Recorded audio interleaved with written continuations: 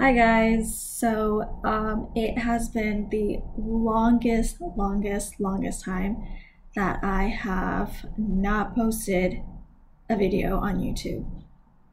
Primarily because life got a little bit busy and I've just been using um, other social media platforms like Instagram and Facebook and Twitter um, a lot more than YouTube. So I was looking back, the last video I did was 2017. It was super poor quality. It was super poor quality in terms of the like the camera or whatever and also how I sounded or like what I was talking about. It was it was like me stumbling all over the place. Um, and then I rolled back and I took a look at the ones in 2015, 14. They were kind of okay. Like I was just doing some lyrics things, um, like changing canto pop songs into English lyrics and um, and kind of covering it um, and singing for it them them. But um, yeah, that's kind of sorry. What did I do with my chin?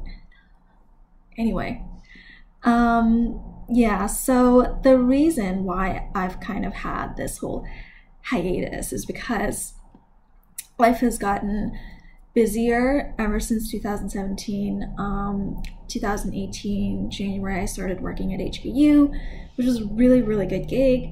Um, so I moved from, you know, just teaching um, English as academic purpose for academic purposes um, and business English. And eventually I started to get to teach the literature class um, in the department. So, and also creative writing in the department. So, yeah, I got um, very busy um, and interesting. So that's good. Um, and I also got to do some volunteer work. So that was all good. It was all good. And my personal life also got busy. Um, I had to plan a wedding. Um, I had to, uh, I, I wouldn't say had to, but we, we got pregnant um, kind of at the probably best time, right before we knew COVID was going to go into a full blown pandemic. So, um, and then after that, obviously taking care of the baby. But um, what was constant and what I'm trying to segue into um, while I'm doing this video is that um, during this time I have not stopped. I, I should say I've I sh- did not stop editing my novel. I think the the writing of the novel itself, like I finished my first draft um, in 2016. So I started this draft um, in 2012, late 2012. Um, my first, um, I think the novel that I really wanted to finish. Previously, I've started novel projects, but they I didn't really finish them. This one, I really knew that okay, it's a subject that I really want to talk about. It's a theme I really want to talk about, and so I started in late 2012. Um, and then I finished writing because I on and off I was doing I was working um, at one point and then I was also doing grad school and working at one point so um, yeah it, it it took me four years to finish the first draft itself. Woo sounds like a lot. A uh, long time. But I mean yeah I'm I'm happy how it all organically just kind of worked out. Um uh and yeah so after that um, by the end of 2016, um, I would say, mid, yeah, I started to edit it.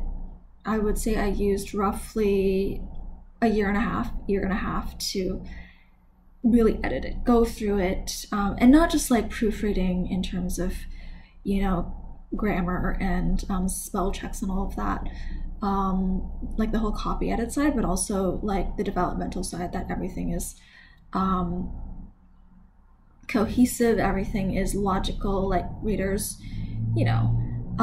Anyway, uh, so that happened, and then I started pitching. I started trying to pitch. Yeah, to uh, um, at the end of 2017 and beginning of 2018. Uh, but then that kind of enters that cycle where I pitch, I get rejected, I pitch again, I edit, I pitch, I edit, I pitch, I edit. Um, a lot of the times, the rejections are very just formal. Uh, a form, what we call a form rejection, which is just we're not interested. Um, it's a subjective industry, all the best.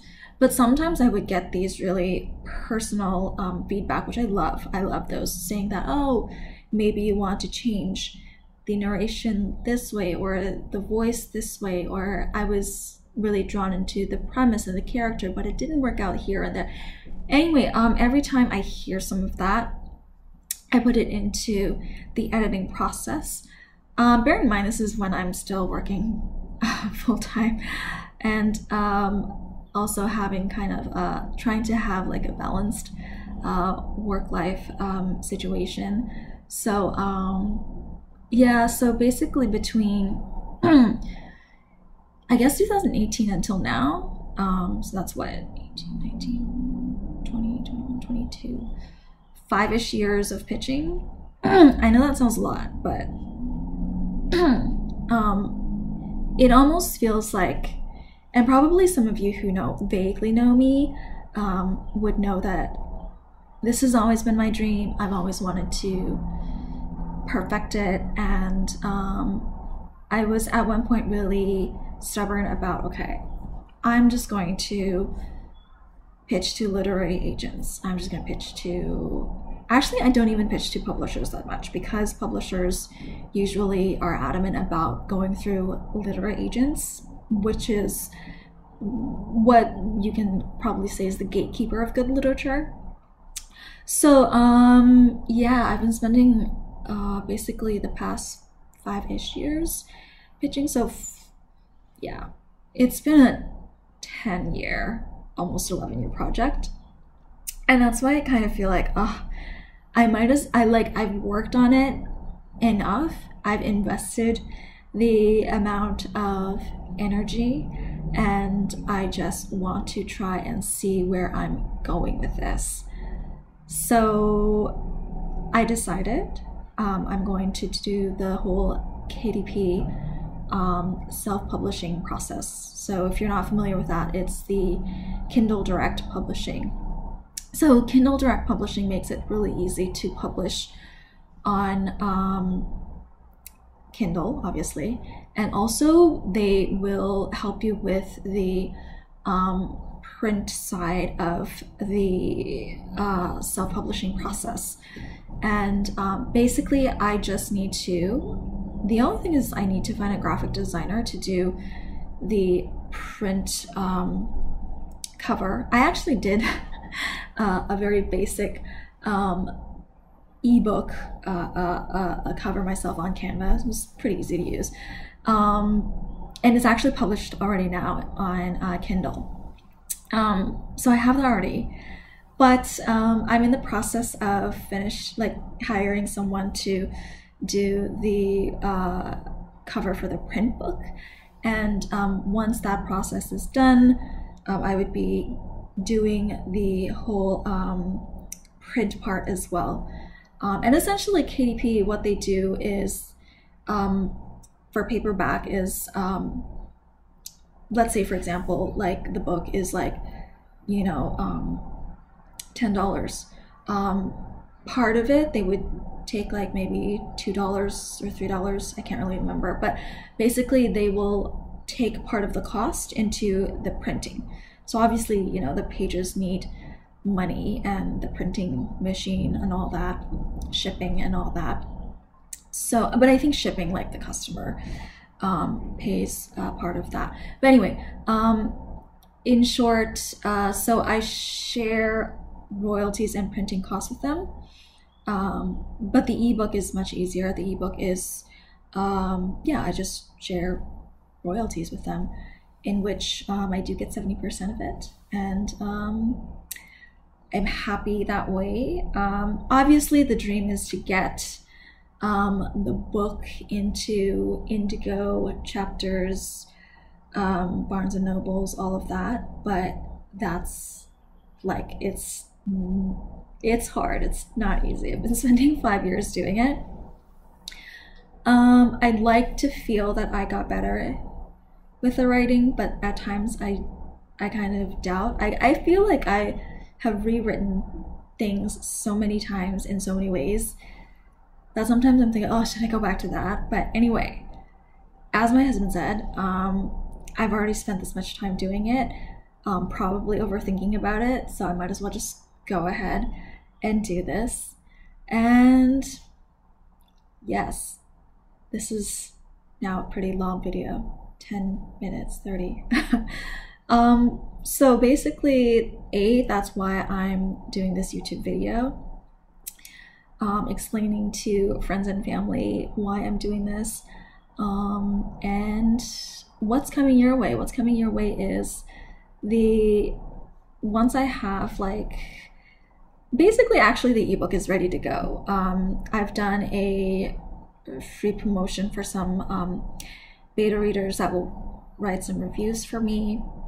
But basically, hopefully, over this um, Mother's Day weekend, that I would be able to um, give my friends a, a discount. So um, basically, right now, the book is on the ebook because the ebook is the only thing that's available now. The ebook is now $8.99 US dollars uh, 10.99 Canadian. Um, and I'd be doing a 5.99 um, American and um, 7.99 um, for uh, Canadian for my friends um, over this Mother's Day. And so after Mother's Day, I'm going to. I haven't decided yet. Maybe one or two weeks after Mother's Day, I'll see how sales grow is. But basically, that's going to be like the time frame for the discount.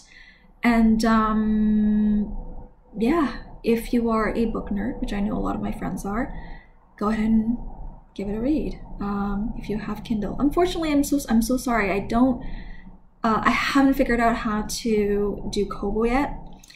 Um, I I think eventually I'm gonna have to learn how to do that, but I haven't got the time to do that yet. Um, so yeah. Uh what was i saying? Yes. So there's to be kindle. Um if you don't have kindle um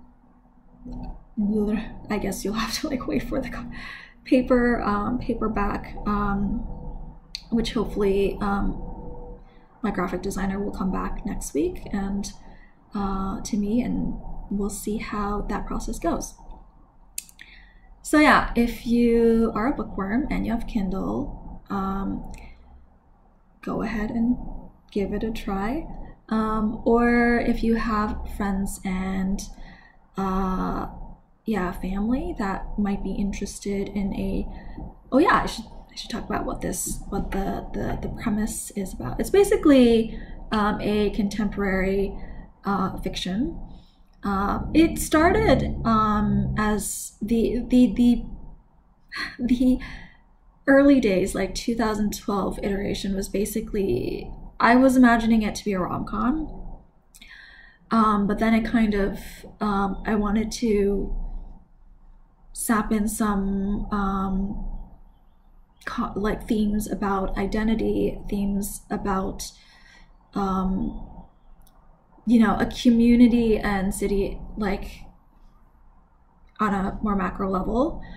And um yeah, it got a little um yeah, I mean, I'm not going to say too much. I don't want to spoil things, but the premise is that the protagonist has a, a past that she would like to um, kind of evade from or um, have a second chance at it if you may. And um, so uh, she relocates herself and um, yeah, try something new, which um, kind of created some family conflict. But then, um, so as you kind of peel out the book, you would kind of find out what the secret is, how it all panned out.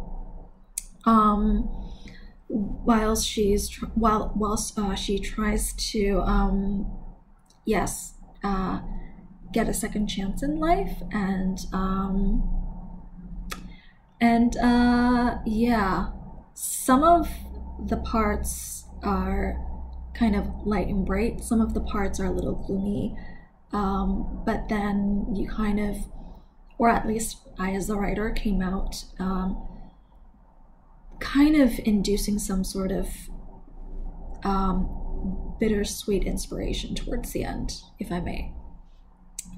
So that's kind of what's what the premise is. Uh, I will link in um, the yeah uh, description box below um, the Amazon link so you can actually read the synopsis there. If you're really uh, yeah interested, and feel free to share that link with family and friends.